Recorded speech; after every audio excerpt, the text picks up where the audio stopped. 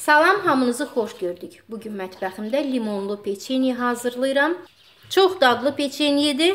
İmsaq və iftar süfrəsi üçün hazırlaya bilərsiniz.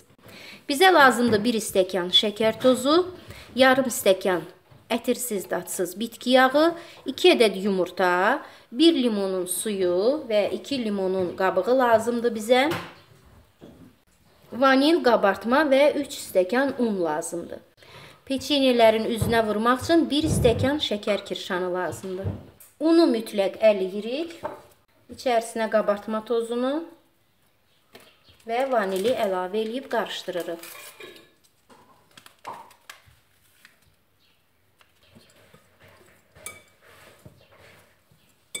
Şəkər tozunu,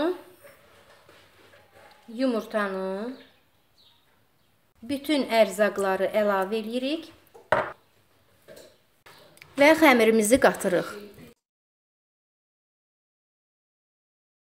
Xəmirimizi qatırıq. Gördüyünüz kimi belə bir qatılıqda, yağlılıqda xəmir olmalıdır. Xəmiri çox da bərk yoğurmayın. 3 stəkan dolu və 3 xörək qaşığı da un əlavə elədim. Əlimizdə qoz boyda kündələr tuturuq.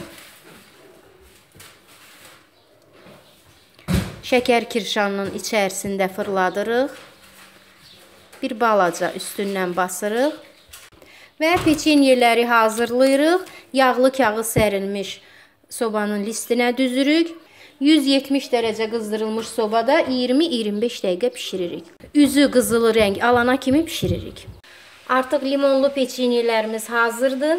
Çox dadlı və ətirlidir. Həm də çox yumşaq və kövrəkdir. Hazırlayan hər kəsə nuş olsun, ruziniz bol, bərəkətli olsun. Videonu bəyəndinizsə like edin, kanalı izləməyi unutmayın. Sağ olun.